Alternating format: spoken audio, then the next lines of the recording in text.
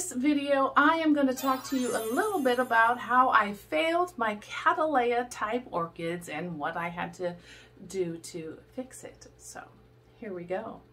Jumping on in. Grab your cup of something something and let's get going.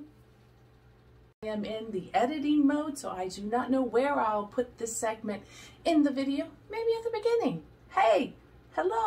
Welcome to the last day of this year, 2021. The video that I have created, the footage I took last couple of days ago. So it is not uh, made this day, this moment. But I did want to show you this beauty that you all failed to help me name. You know, I did ask in the last video, can you help me name her? So she is officially named cherry blossom because she reminds me of the cherry blossom flowers that are white and pink that bud out. Um, so that's what I named her. Cherry Blossom for my no ID Phalaenopsis. Now she has opened the last bud here this morning. It'll pop open some more later today. And I can officially move her downstairs to the living room where we spend most of our time and I will be able to enjoy her.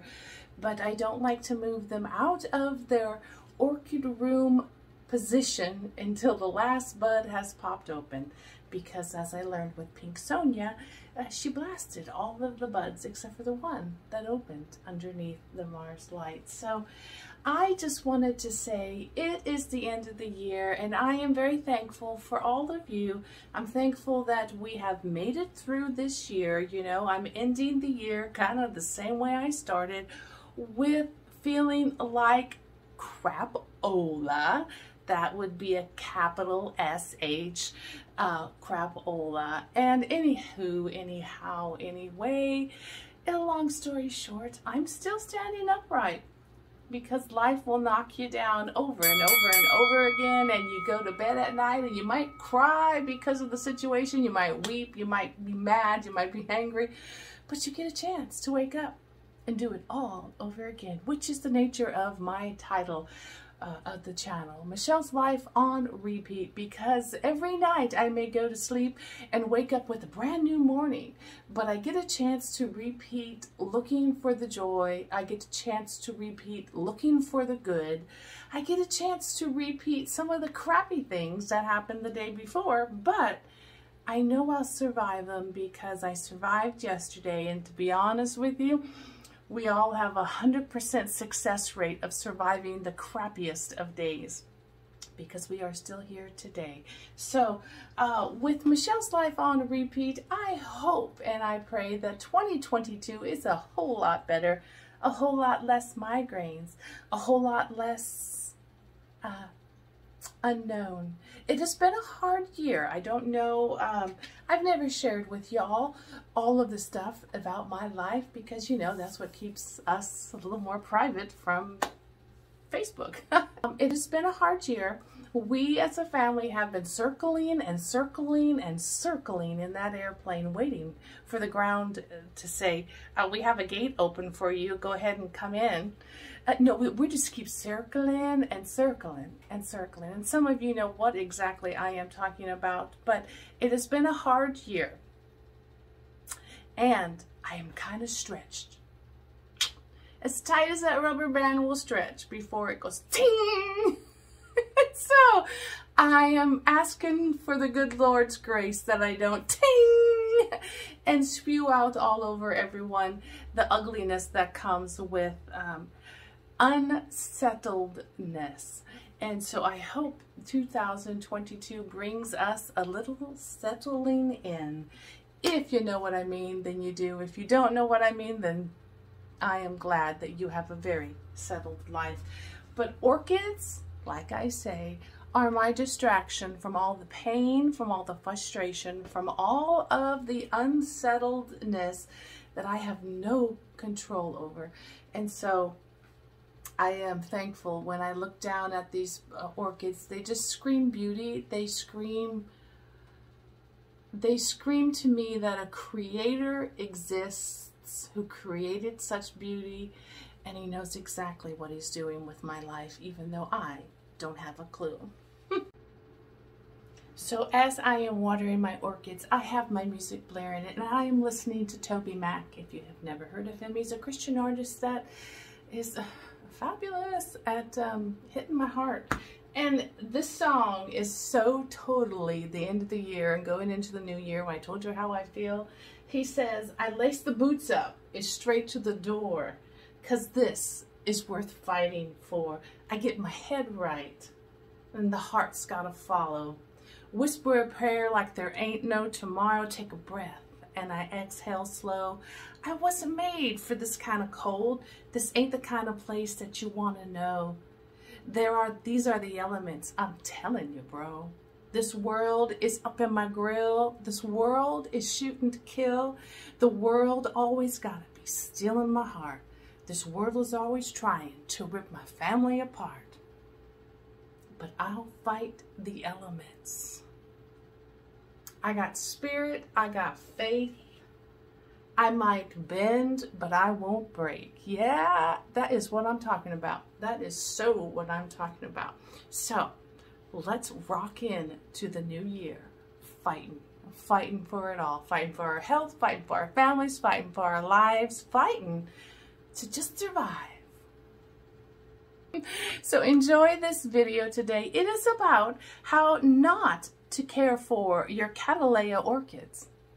This weekend I was watering everything and I love to on my Saturday or my Sunday uh, touch every plant and see how things are going. And I touched one of my Cattleya plants that I had put in leca and I promised myself and I wrote notes on the plant don't over water and I thought, mm, yeah, that's pretty good. I've been doing that, but then I remembered every once in a while I walk by and those top pebbles of leca look dry, so I splash a little water, then splash a little bit more, and then splash a little bit more. And if you are like me, who always thinks your plants are thirsty, well, you end up rotting the roots. So I peeked because I have these beautiful roots but they weren't going down into the leca. They were going out from it. And I thought, I wonder why they're not going down in it. And I pulled back the leca and lo and behold, I had dead, dead, dead, and I mean dead, dead, dead, completely gone roots. So she came out of the leca. But do you see those are all her new roots? And that's what I saw on top of the leca and then I brushed back and from here to here we're talking a whole bunch of soggy old roots and you think I would learn my lesson. So I I learned enough to know that I will not put a Cattleya type orchid in full leca with a wicking stick of water. So uh, it can suck up its own water. I will not do that in my orchid room here in the Pacific Northwest anymore. You think I would have learned the lesson a while ago, like back in 2018 when I killed everything? Or 2019 when I was trying to rebuild everything? Now here it is, the end of 2022, and I still think that Cattleya types need water, water, water, when in fact they don't, they don't, they don't. They need water, and then they like to dry out, and then they want to search for the water and reach their roots out for it. They don't want to sit in a constant bath, marinating in that water. So there we have it. This is a SLC, so she is a Sophrolaelia Cattleya, possibly the S, I'm not certain what that is. Coastal Sunrise, so SLC, Coastal Sunrise Tropico and she has been in multiple settings. She came in a pot most likely with moss or dirt, moved on to some sort of potty mix that was probably bark and perlite. Then I thought, oh, she's doing so well, I'll put her in leca and I won't have to water her as much. You know, they'll just take care of themselves. But for me, that does not work in my environment. So this is probably her third or fourth time that she has been repositioned, but I'm watering her daily, no moss whatsoever on the rest of the dead roots in hopes that she will cling to the, the um, wood fiber. What are we looking at here? migraine brain. We're looking at a bark and it's not coming to me. I know you're all shouting the answer out. Here's the answer, the answer. Um, yeah, I don't know. I had a migraine start last night with the snow falling and so, mm -hmm, migraine brain is halfway here. Needless to say, I water her cork bark. That's it, cork bark. So anywho and anyhow, today I'm going to give her a good drink, hang her back up. But here's the other one that I quickly ran to I said, ah, she has this gorgeous root across the top and she did in the LECA too. And I thought, why isn't that root going down? Same thing, same questions. If you find yourself asking the same questions to your orchids and they're giving you the same answer, I don't like my media, I don't like my media, it's time to change her. So I quickly took her out of LECA. She had a few more savable roots, put her in a full bark because I didn't have any more mounts and now because this this is brand new spanking media I think it's it's a mix between the one from Josh's Frogs um, it's got the dolomite on it it's a larger piece and orchiata bark you dip it in the water you bring it up and it looks wet but it's it doesn't get wet all the way through. So she needs a watering every day until I can be assured that those are getting enough water. You know me, overwatering queen, but check on your Cattleya types. If all the roots are not going down into the media, but going up and out somewhere else, it may not like the media it's in. Let me give her a drink and we will keep on keeping on on this beautiful snowy day in the Pacific Northwest.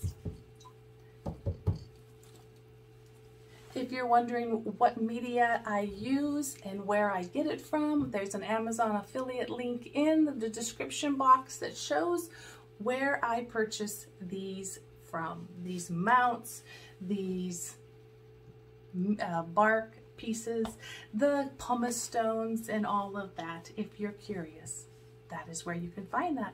Thanks for visiting with me today. Until we talk again, bye-bye.